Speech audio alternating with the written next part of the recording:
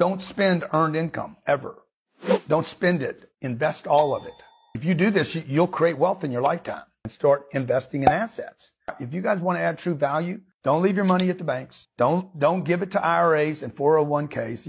And it's not safe on Wall Street. You know, I take a piece of paper and I don't, I am not going to trade it for another piece of paper that was made up. I'm going to take this piece of paper and say, how can I get something better? Oh, put it in concrete, glass, tenants,